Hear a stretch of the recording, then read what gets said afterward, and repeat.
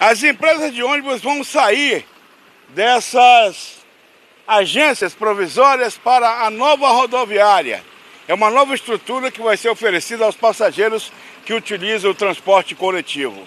Esse ônibus está saindo agora com destino a Porto Velho e vai levando passageiros que normalmente deveriam ter embarcado em uma rodoviária.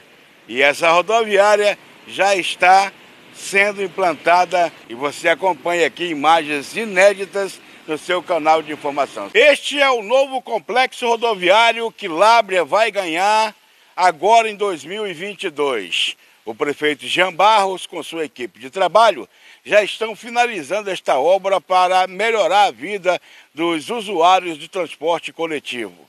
O município finalmente vai ter o seu complexo rodoviário para atender as demandas dos passageiros que precisam se deslocar de Lábrea a Humaitá, Lábrea a Manaus, Lábrea a Porto Velho e Lábrea para o Brasil. Com imagens de Jean Leite, reportagem de Cheyenne de Humaitá, aqui você ficou sabendo, Lábrea terá o seu complexo rodoviário, porque aqui a notícia é de verdade.